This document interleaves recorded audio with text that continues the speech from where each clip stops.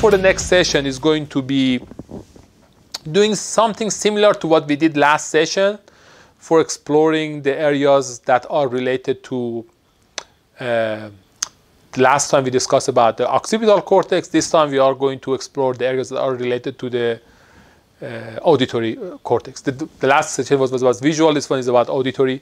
So you are going to, uh, I, and I brought the details in terms of you are going to compare these uh, these parcellations, probably in one, two different atlases, and compare them together, and having a sense about what are the parcels that are involved in, in the in the auditory processing.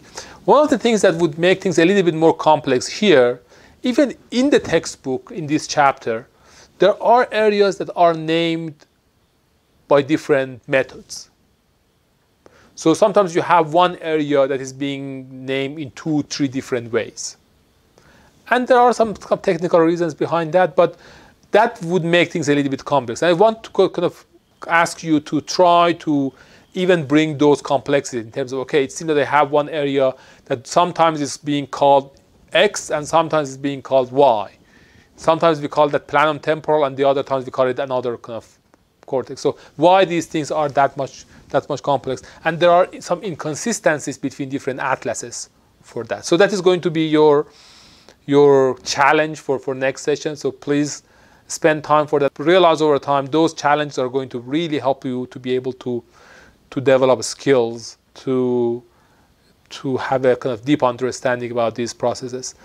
Uh, I received kind of an email from uh, from Mr. Amir Hossein Dakhili on uh, uh, brain on, on atlases. Uh, Amir Hossein, are you available right now to, to discuss about that? Could you share the link with others? Go ahead, Amir Hossein. Just give people an idea what you have done and then how people can use that for, for, their, their homework next session. So go ahead and give us a, a sense about the, the atlases that you have collected in the sheet.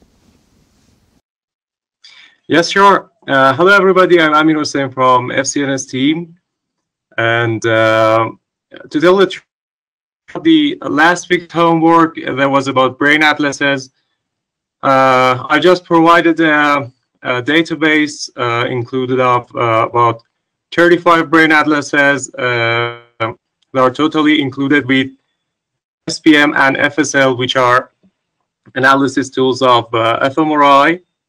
And uh, you can find so many information about these uh, 35 brain atlases there, uh, as coverage of them, uh, the region atlases, and also the related papers and the official sites and the developing sites of these brain atlases.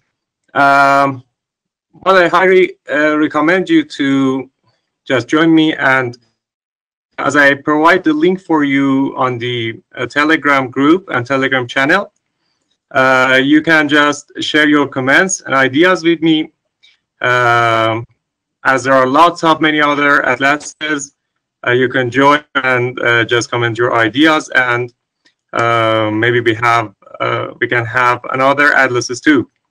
That is good to to to know, and you will share the, the the link, and those who are interested, they can just basically add even there are, if they found the other atlas, they can add that to that sheet. So uh, people can kind of contribute to that, the long list of different atlases, and they can use those atlases as well. So I'm here to uh, answer questions, but those who are exhausted, they can leave us and uh, enjoy their time. So hopefully see you next time, next week, uh, with a good spirit and uh, in a really healthy way. So see you, take care, and have a good day.